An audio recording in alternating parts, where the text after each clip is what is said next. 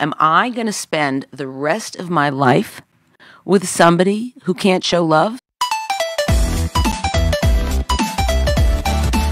So we actually have a very powerful show. Strap on your seatbelts because this is really this is very deep. Okay, so get ready for deep. Type in below if you're ready for deep. Okay, here's here's a situation. This is called blocks to feeling loved. Okay, we all have them, and we're going to learn how to get on the other side of them. Okay. So I'm going to start with a story, and this is a student who came to me a few weeks ago and with the following thing. She said, "Leah."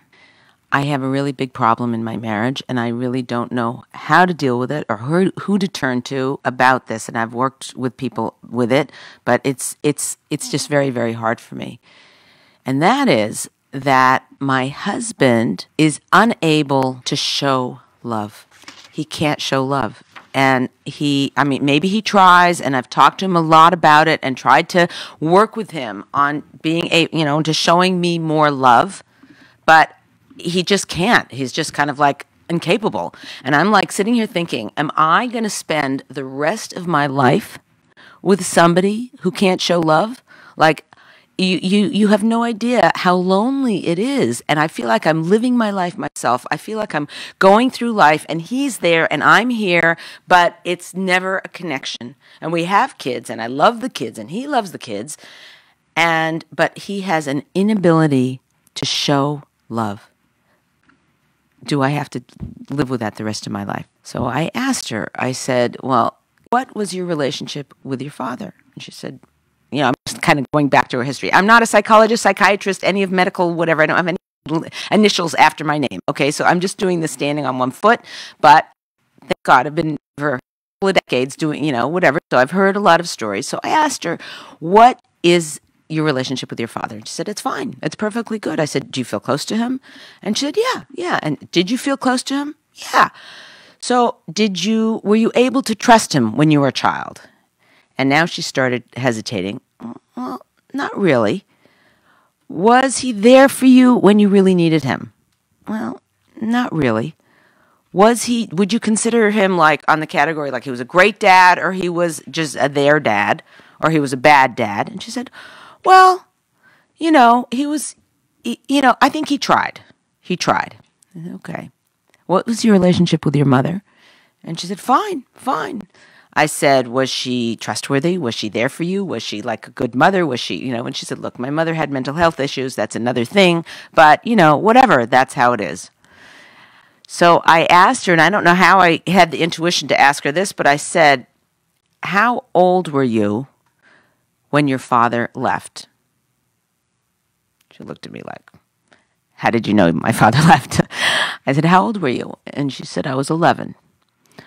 So I said, when your father left, did he like move up the block and you like spent half the time with your mother and half the time with your father? It was a divorce, uh, uh half the time. And she said, well, not really. He moved far away, and you know, I saw him about once a year. But we still had a great relationship. We still were close. We still were, you know. And I was like, okay. Okay. Did he send you a gift on your birthday? Well, that's another thing, and I'm not going to get in there about whether a father should or shouldn't or whatever. And but she was saying it as if that she had this great relationship with her father, which really to did not look necessarily like a great relationship with her father. So I asked her the following question: How certain are you that your husband is not capable of showing love versus you aren't capable of feeling. That got the tears. So, this is a question we need to ask ourselves in terms of blocks to feeling loved is what is the emotional did i tell you this was heavy right? Oh, heavy? Oh my gosh. Right this is heavy. That's my Sarit over there and i just yeah so heavy. But the issue is what are we doing in our life to block love? And we all do it and the most important way to shift that and to change that is to see it and to understand it and frankly, to feel sad about it. Because that's going to motivate us to grow in the way that we need to grow in order to feel more loved. Could it be that you have a husband who doesn't, you know, show love and that whatever, and it's all outside of you and all the circumstances, you know, it's a perfect storm and you don't feel love? Yes, that is entirely possible. And maybe that's 5% of the population or 2% or 20. I don't, I, what do I know? Okay. And I, I didn't lately go around with a microphone on the street to ask people this, but it could be that the circumstances are such that you don't have, you, you know, people aren't showing you love. Is there something you can do about that? Probably. There's oh remember, we as we said last week, there's always something we can do. So the question is, and this is what each one of us need to ask ourselves, what is a block, what is our own blocks to feeling loved? So we're gonna do a little exercise. Okay, ready? Ready? Guys, okay. We're going to do a little exercise. And by the way, if you have questions about this or comments about this, please comment below. And for the people on the teleconference, press star six if you want to ask a question about this, whatever, because we're going deep. And if this applies to you, it's all anonymous. Nobody knows who you are. And you can get your questions answered about this because I did quite a bit of research on our sources, what our sources say about this. What is our the tradition that will solve this and help us to get the love that we so rightly deserve. Okay? That's what we're working on today. So hopefully by the end of today's class, you will feel more love in your life because you'll have just know a couple little tricks or whatever that can help you to get more love. Okay. So we're going to do this exercise. Visualize if you're married, visualize your husband. If you're not married, visualize someone who uh, you who is very your closest person to you, or one of the closest people to you. So visualize I'm going to just say husband because easier. Visualize your husband walking into the room. You had a great day with him. You're not in a fight. You're not bearing any grudges at the moment, right? Okay, at the moment. I said at the moment, so don't worry. It's at the moment you're not bearing a grudge. It was just been like one of those woohoo days. And your husband turns to you and he says, I really love you. What exactly in that moment are you feeling? What are you feeling? Are you happy? Like, oh, thank you, dear. And you can, the love just goes right in? Great. Are you feeling annoyed? Like, what does he want from me now? Are you feeling undeserving? Like, yeah, yeah, he's saying that, but, uh, you know, I'm really not worthy of that love. Do you think he is, uh, are, are, do you feel a sense of fear like, oh gosh, wow, ooh, that was like a little strong, that was a little heavy, that was a little whatever. Are you feeling that? Are you feeling that you know, manipulated like there's something, you know, behind his love. He couldn't possibly love you. So, what we're doing right now is you're kind of taking a look and being able to introspect and see what is my own personal block to feeling loved.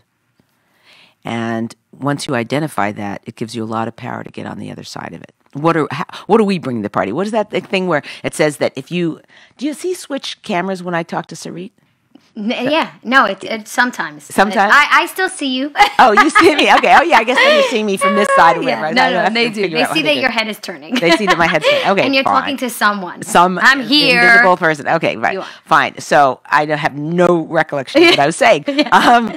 Uh.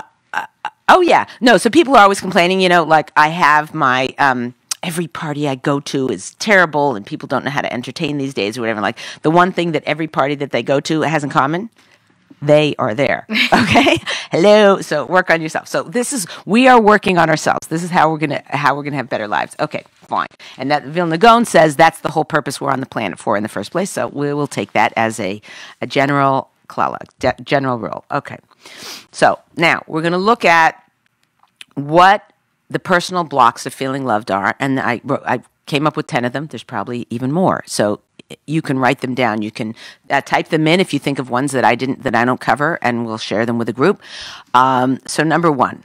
Personal knee jerk reaction. So that is when you look back at when your husband walked in the room and said, I love you very much. What were you personally feeling at the moment? and this is tells you the area that you need to grow. So, can grow if you choose to grow, if you choose to, choose to feel more loved. Your choice. Okay, number one, you were never taught how to feel loved. So, like the lady from the beginning of the story, she she didn't even know what that felt like to be loved. So either that's a parental thing, or that's a trauma thing, or an emotional thing, um, or the love was very conditional on your behavior.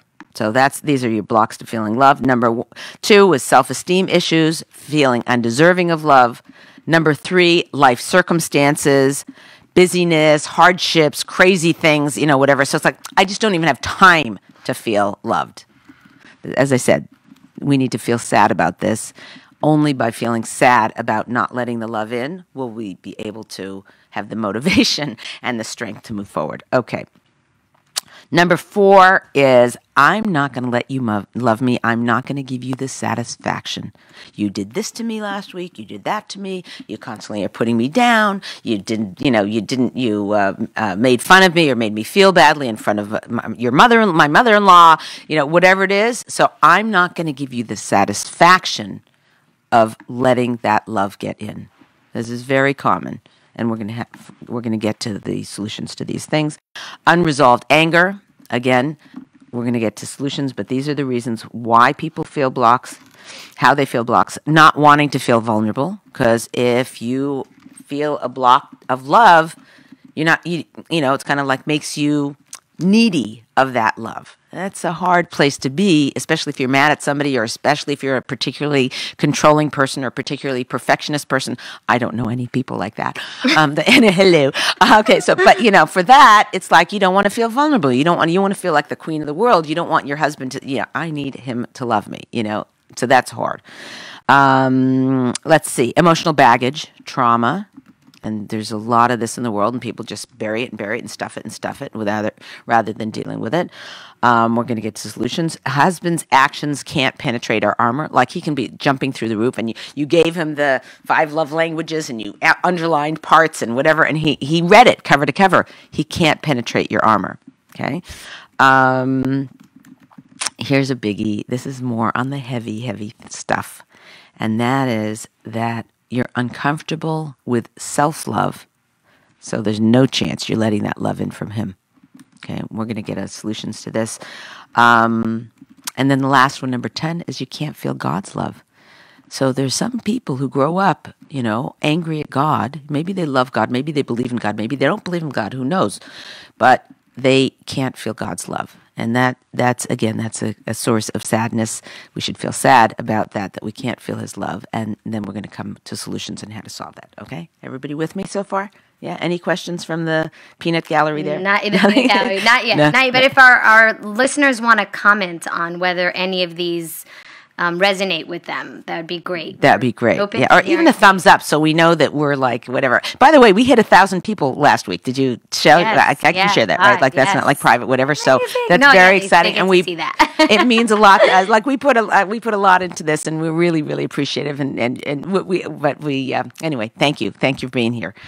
Um, means a lot to me personally and to the whole team. So, okay, so let's go into our sources because this is going to help us to understand what, you know, so I don't feel loved, so who cares? Nah, okay. The Chazon Ish writes in a letter The nature of a woman is, in, is to enjoy finding favor, to be cherished in her husband's eyes, and she constantly yearns for this. Now, I know this quote. This is an actual quote. Um, and the it's hard for women to hear this for the first time. People who are uh, are new to the show, this is like, are you joking? Like, you know. So listen to some of the other shows, and then you'll get like the reality of the world is that a woman wants to be cherished. Some of the you will yeah, yeah, I want to be cherished. Like, hello, what are you? How, who wouldn't want to be cherished? But there's some women who say, I don't want to be cherished. I'm a partner. I'm an equal. I want, you know, whatever. So this is a process. But this is what the Chazon Ish says, and what that means is that we from our very soul. God created us in a particular way. We don't know why he did what he did, but he created us in a particular way. And we are, um, he created us to crave that and yearn for that um, love from our husbands. So to deny that means that you know, it's kind of like you know opening up the the dishwasher manual and it says yes, uh, you know, put the plug on the bottom before you turn the water on. You're like, huh, I'm ignoring that rule, and you don't, and then the water leaks all over your kitchen. Okay, part of God's thing is you are designed to need cherishing, and here's a guy to give it to you. And for the single people, he hopefully, God willing, he'll he'll come. Um, so that's just the Chazon Ish is t- teaching us that's how we are. Now we need to work on making sure that that love gets in. Okay. More than the makabel wants to receive the love, the giver wants to give the love. So meaning more than than we want to receive it, our husband wants to give it. So the Maharal writes, the one who gives gives the mashpia desires to give over to the receiver. So the whole married life is is the husband giving and us receiving. And if we have blocks to receiving that love the the um, besides the fact that we're not feeling the love that we could which is very very sad it also means that our husband his role for being on the planet isn't fulfilled and that will show up in ways like he's not as good in business he doesn't feel as happy in his life he doesn't feel fulfilled and satisfied and he, his his parenting skills uh, are decreased. Every way of him to be fulfilling his mission in life is decreased because we aren't able to feel his love. So this is i'm trying to give you sources for the motivation to work on this especially for people who have self-esteem issues and undeserving issues you need to work on this, not because you deserve it or do whatever, it's because you, to make that uh, giving and receiving in your marriage uh, more powerful, which brings in the Shekhinah, the, the godly light, into your home. That's not the right translation, right? Yeah. Shekhinah, the, uh, the presence, of the female presence of Hashem. Okay. As Chazal say, the rain. Oh, I said that the rain yearns. For, oh no, I didn't. The Chazal say that the rain yearns for the ground. The rain is the giver, and the earth is the receiver, and the uh, the the rain just wants to go into the ground, and that's how your husband wants to uh, give to you and give love to you. Um, okay, I think that that that I had one more, but I don't think it's as applicable as the ones we already did. Okay, let's go to the tools of the day for feeling loved. So, do we have any questions? Anybody, Sarit? Anybody could type any in? Anyone? Um, any actually, any teleconference? Yeah, no, no. Actually, we do have one question. Um, actually, similar to I think, um, referring back even to last week's show with Libby.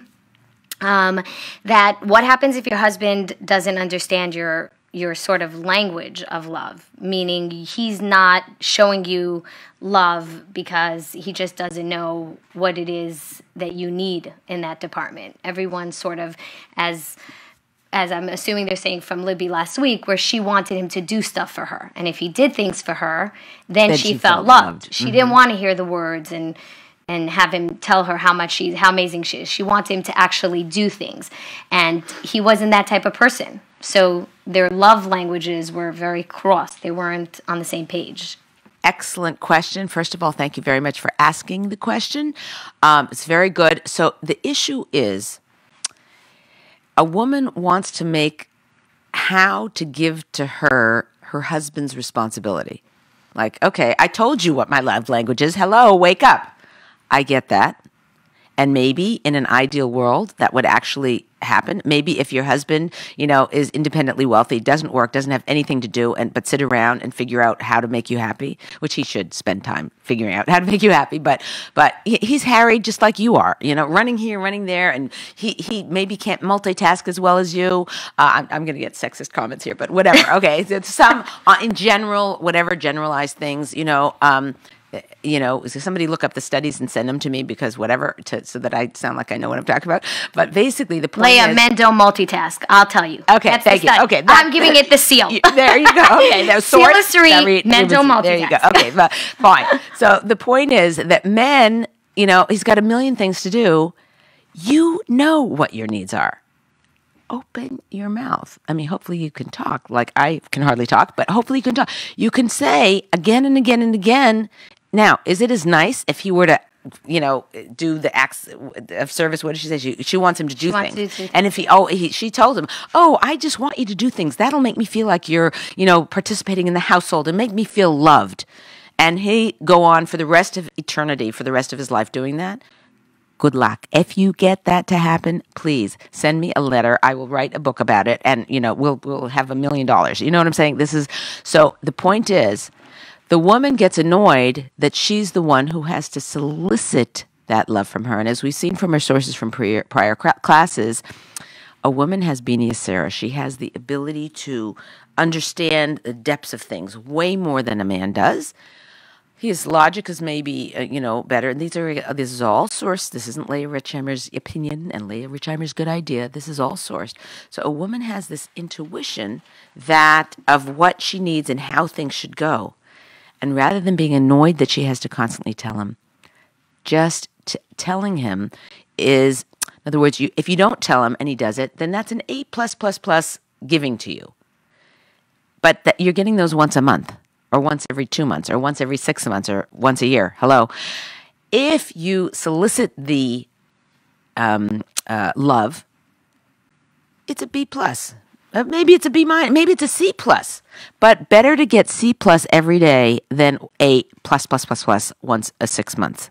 Okay, once in six months. So to answer the question is that she if she communicates, she needs to communicate to him about that a much more deeper way. Not only that, she has to um, repeatedly do it and just be okay with that. The good thing about this, when I teach this to women, they're annoyed at first and then, mm-hmm. then when they start getting into the habit and the routine of soliciting that love and that, you know, or the need that she has, it's kind of like becomes second nature and it goes into the thing. And the husband responds much better because he's you know again if, if she does it by nagging and saying you know you didn't do the dishes do the dishes now. I, I, I told you you know that's not going to go very well. But if she said oh you know I, I brought all the food in and i did this do you mind helping? or whatever works for him. You have to do trial and error and see what works for your husband. Excellent question. Okay let's go right into the tools of the day. This is the tools of the day for feeling loved so, number one is to catch yourself in your knee jerk reaction. So, from the beginning, where I did the exercise where when your husband comes in and says, I love you very much, what are you thinking at that point? You need to catch yourself in the act, to catch yourself blocking love. Very crucial. Um, so in the middle of catching yourself in the middle of blocking you need to catch yourself and here is the first tool to feel sad when you are blocking love. Your husband comes in, "Hey, how you doing?" and you're annoyed about something. He says, "Hey, how you doing? You look great today." And you're just like you're annoyed with him. So you're not going to let that love in. Catch yourself blocking that love. That's the first thing and feel sad. This will motivate you. If it's helpful to, uh, because then your next action is going to be, ooh, I'm blocking myself. Your next action may not be, okay, I'm doing great. How are you? And drop the whole thing. Good luck with that. You know what I mean? We're not, we're not robots. We're not automatons. But getting in touch with the feeling of sadness that you're blocking the love will mean that maybe the next day your husband you hear his car pull up to the driveway or whatever you hear the front door open and you're like he's going to come in here and he's going to say hey how are you doing great to see you good chance of that maybe he won't but good chance of that I, that gives me from the 50 steps from him to go from him to walk in the door unless you're greeting him at the door in which case good gold, gold stars. Okay. But that gives me like a minute and a half to shift my thinking from I'm blocking this love to whatever he says, I'm going to smile. You don't have to go crazy over it. I'm going to smile and say thanks. I'm going to get myself there. Understanding your blocks will help each and every day. You'll see. Okay. If it's helpful, keep a journal of the times you block love, answering the following questions. So you'd write at the top, you get these cute little pink, pink or purple, your sweet turquoise, whatever you you pick a nice journal, and you write in there. Um, here are my blocks to feeling loved. What did I feel when he said that? When he tried to give me love? Uh, why? What did you do when he said it? Did you say, "Yeah, thanks"? You know? Did you say, "Oh yeah, I love you too"? Did you ever let it in? Write it down on a scale from one to ten. What level of sadness were you able to get to that you block his love? Was it, you know, 10, you blocked all of the love? Was it like an 8, you let a little love in? Was it 1, you let most of the love in? Or 0, you let all of his love in? Is this beautiful? This could really change your life. If you took this to heart and use this as an exercise, you can actually fulfill God's wish for you, which is to feel all of the love that He has prepared for you from the beginning of time. Since Adam and Chava walked the earth, God knew you were going to be born, and He prepared a huge, massive chunk of love to go to you. You may not have gotten from your parents, or from your kids, or from your bullies, or from whatever. He's prepared a lot for you. Now it's your right, it's your duty, it's your um, privilege to let that love in. So, Leah, I have um, someone who wants to know uh, what if they had abuse in their childhood and feel there's no way that they'll ever be able to be loved because they don't really know what it means to be loved, obviously. Hmm. Cry We're now. going to a commercial break, right? Commercial break as we take a moment to cry. No, that's very sad. Yeah. Yeah, go for counseling. Yeah. Um, I assume that, you know, somebody who's had abuse as a child was, you know, would have been suggested to or would have thought about going to counseling already. So they might have already been through a year, six months, two years, whatever, of counseling. They probably went through counseling of healing the wounds. I'm not necessarily certain that they went through counseling to say, I block love, teach me how not to block love. Okay. So, counseling, if you've been to counseling for abuse, you know, and you haven't covered this, that for sure would be something to, to, to put on your to do list to do. Um, but also, this is something you can share with your husband that you you know i mean there has to be a lot of trust in the relationship and a lot of good communication in the relationship for that to happen. If you don't have that you definitely need a third party in there. But um, this is something you can you can learn to to heal yourself. It's much quicker with the therapist and with the right therapist. A lot of times you have to try this. Li- that one didn't work, and that one didn't work. And if I lose my voice, then what do we do? Yeah. that one didn't work, and that one didn't work. You know, whatever. And you, you know, it might take a few tries. Then you get somebody, and you actually can make progress very quickly. Especially if you're very clear about what you want to accomplish in therapy. That's the you know going in there sort of like, well, whatever. I just want to feel better about life. That you know that might be a long haul. But if you if you go in there and say, I want to learn how to feel more loved um, you know, hopefully with a, a, competent therapist, that should be, you know, several sessions, two, three, five sessions or something like that. That's not a three year process unless you're, you know, a real case of, uh, or, or you haven't covered, uh, uh, gone through uh, therapy for abuse before. Um, but it's a very good question, and I'm sorry for the, for the abuse. And I give you a blessing that God should help you to feel the the love that he's prepared for you. You had a kink in the wheel, you know, that is a that's a hurdle. And that hurdle was put there for whatever reason and uh, you you know, probably you've survived a lot of stuff and have a lot to be proud of in terms of your relationships going through that and still having good relationships. So you've got strength in you to also work through this.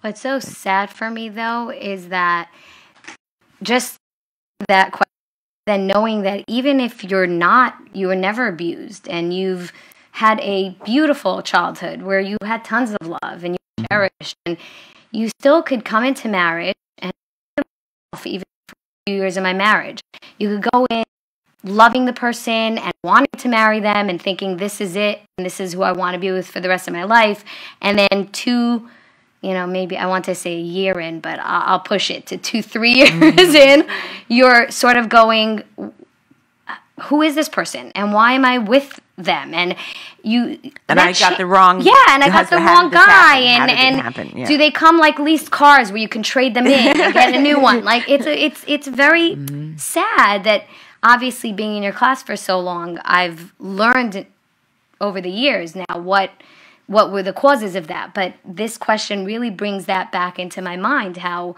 I had points where I was feeling we're never going to get this and I'm never going to feel the love and this isn't going to work. And so that's so scary that you could be not abused and still feel all this feeling of not feeling the love. Yeah, yeah. Mm-hmm. So, um, can I ask you a question about yes, that? Okay. and and by the way, we yes. have rabbinic approval for Sarit to Uh, discuss her husband's, you know, her personal thing. Nobody else. You We know, kinda, we kind of we kind of Sarit Rubenstein married to Joel. No, and that, that- hello, hello, hello. So Yeah, you you know, totally we, said she, total yeah, people. we have, and he also the the husband Yes. had to approve and everything, Yes, whatever, and in out of the goodness of Sarit's heart, she's doing it so that other people can gain from her growth and from her mistakes and from her whatever. So Yeah, yeah. But anyway, so your thing was you didn't feel loved because it just got to a point where like you just feel like the wrong person and like everything he was doing was annoying. Something? annoying. Yeah, I felt as though he just doesn't get me. He doesn't understand me. He's doing all the wrong things, It- and and I really believe much of it was, as you said, not allowing that cherishing. I thought, of course, I want to be cherished. I'm, I got married to be cherished. I want my husband to worship the ground I walk on and pamper mm-hmm. me and take care of me. Mm-hmm. But I didn't understand what cherishing really means. Making myself vulnerable was not something that I was willing to Comfortable do. with, yeah. No, I mm-hmm. was very independent and I did not want to make myself vulnerable that way. And I think that was a huge block. Um, but yeah, it was very hard. It was very hard because I know he was trying to do everything, but and like Libby from last week, I'm also very much into you do things for me and I feel the love, and he was more mm-hmm. into saying it or talking about it, and I'm like, I don't need to hear that. I'm Right, great. I know I'm great. Like, Thank just you. do something Just for me, and yes, just wash the dishes, Okay, and that makes me feel great. I you know? got so it. I got yeah, it. So what's your question? no, meaning that it's it's not even a question. It's more that I feel such sadness about this. That even if you're not abused, even if you're coming from a You healthy can still background, you can still feel not so loved. Mm. not loved with a person that you really did feel was the one, and you married loving. Meaning, in all these situations, even this woman, at some point, he must have loved her. She must have felt it because she married him. Right. So somewhere along the line, it changed. That's where it's scary, like that. It could change like that, and Yeah. So it's kind of like likened to blockages, you know? Um, it's kind of like, you know, you felt the love, you that you married him or whatever, and then all these hurdles and blocks go up in front that, you know, he did this, he did that, he's not doing this, he didn't do that. He, you know, and all these things are blocking that free flowing love going from the husband to the wife there's love the other direction. We're not handling that right now. It's it's you know that this this will kind of cure a lot of the love issues in a marriage, God willing. But the you know for a stable, healthy marriage to also have that, it just means too much stuff didn't get handled. Too much. We you know we're going to be covering a class actually on how to get to harmony after an argument. You know we're going to in in uh, in the next few months we're going to cover that. Actually, can you make a note of that? I'll remember. I I have a yeah you know maybe maybe that will help with this it, to sort of clear the air and get things back into harmonious thing to make sure that there's not a lot of you know blockages you know like going up and going up and going up and then the, what is there? So um, it's handling conflicts and handling challenges that keeps that conduit open and we'll we'll get we'll get there but that's a very good point. And uh, again the the first motivator of this is getting in touch with the sadness is to understanding that sadness. Okay. Um, let's see all right. And the next thing is the tool part of the tool of the day for feeling loved is have a strong plan or course of action for how to ensure that the love gets through. So as we said, journaling, rewarding your body for letting love in. Like so, when you're you're goof. So when when um, he, he is loving you, when he says "I love you," and you're like, "Yeah, right." Say, "Oh, I'm blocking the love." Cry, get sad, and then say, "I'm actually I'm I'm going to take a minute now and let that love in."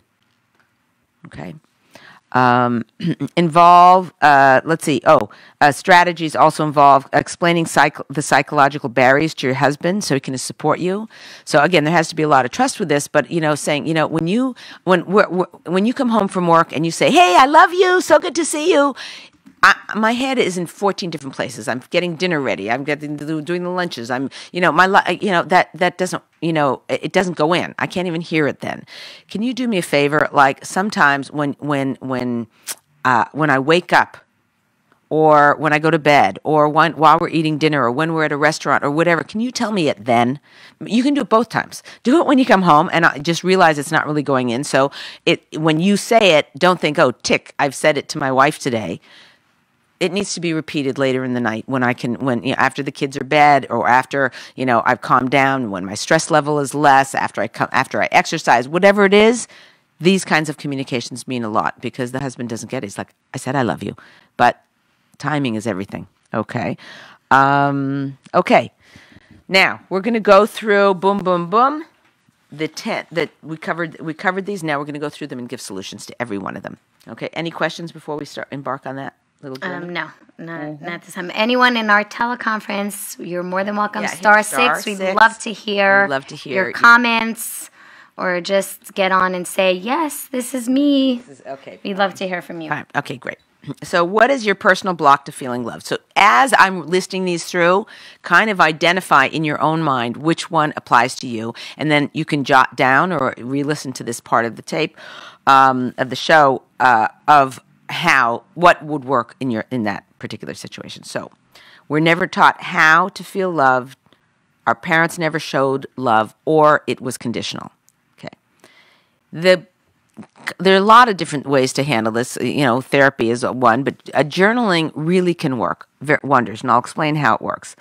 You want to think about what it felt like as a little girl, when you were a little girl, to feel loved.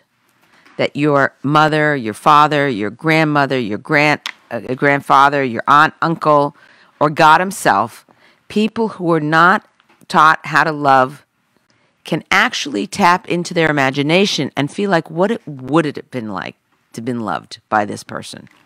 So the woman who was abused, if you can sort of get in touch a little bit with, you know, someone in your life that you were able to feel loved by and journal about it. What did that girl little girl feel? How how um how did it make you feel? How did uh, what was the ramifications of that love? What strength came from that love? What self esteem came from that love? Write and write and write a few pages on just that um, aspect of feeling loved, and I think that really goes a long way to just make, you know paints a picture for you that you can build upon. Okay. Can you also, with that, um, even if you don't have your own examples, can you look at other people and how they're interacting and how they're loving each other and sort of? That's a good question. Can you uh, can you get role models? So yeah. Yeah. it's good. You can get role models, but it's a little tricky because people tend to idolize other people's marriages. I mean, I, I had somebody uh, uh, this is a couple of weeks ago saying, you know, uh, was it on the show?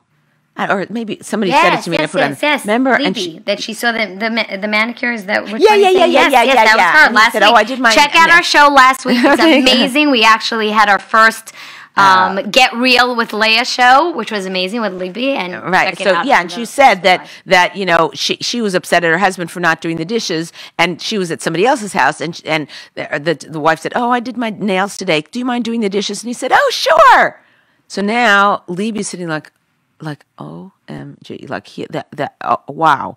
But she, she doesn't know whether like he later on said to his wife how come you asked me that in front of them? Or whether the wife was doing it to set him up because he couldn't say no in front of other people and all that he had to look good. So then he had to do the dishes which wasn't very nice of her. She was being what's that called? Manipu- passive aggressive no, yeah. manipulative whatever. You know so who knows what the show is but the thing is when you're using role models like you're saying it's always going to be a weird spin on it. So not sure we should go that way.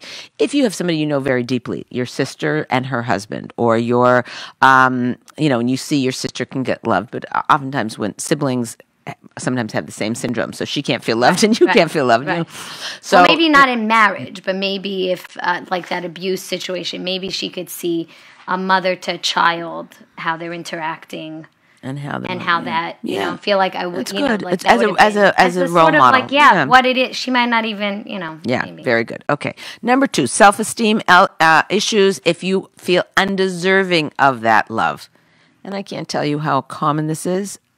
It's so common and it, it's not easily recognizable in yourself either. So if you have a little slight uh, question if whether that some people are like, yeah, that's me. Some people are like, yeah, I- I don't think so. I don't. It's worth exploring. So if you have self esteem issues, here's your homework. You need to get a journal and you need to write down stuff that's great about you. Really great about you. things that you accomplished that other people couldn't, things that you accomplished that everyone else can do. But if you make dinner every night, write that down. If you, um, uh, you know, I'm one of these people like I get so harried that if the phone's ringing and I'm, I'm I, I let it go a lot, a lot or whatever. But there's some people who take great pride in answering every phone call. Like I'm so like amazed, you know. If you're one of those people, write that down. All of the great things that you do. You want to do um, three thoughts, feelings, actions that you did every day. Write it in this journal bolster yourself. This helps to build self esteem. There's a lot of books on self esteem that you could read. Some are better than others. I don't actually know all of them, but I know that there's a lot of books on there.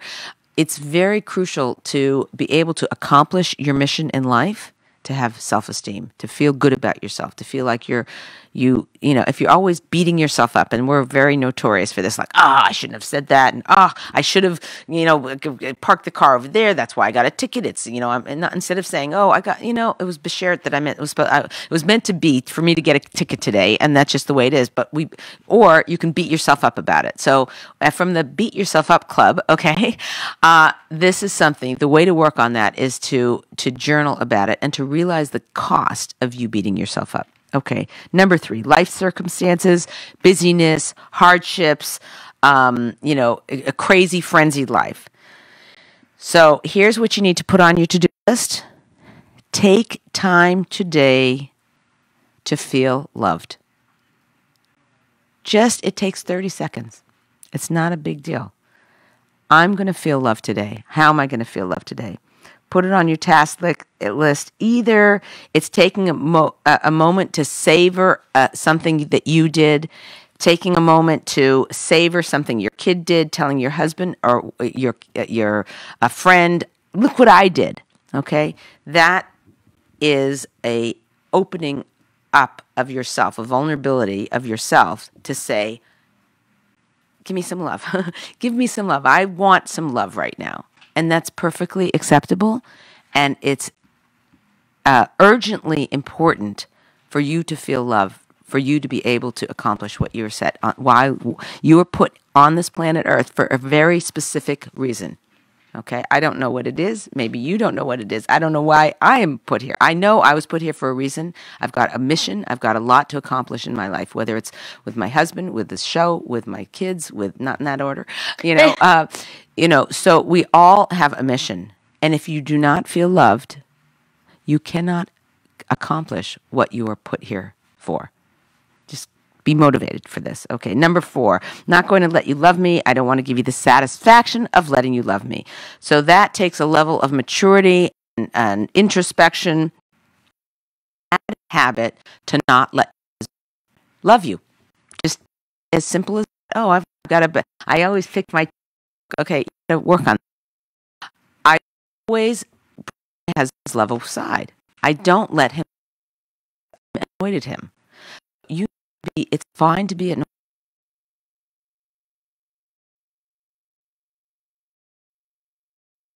In love with him and to expect yourself to not be annoyed at him is a tall order. You're going to be annoyed. That should not and cannot be a good excuse for not letting that love get in. Is this clear? Are we here? Give me a thumbs up, something. I don't hear this. That can't stop you from feeling love. It should not and it cannot. Okay. Number five, unresolved anger. So we're going to cover anger in a future class.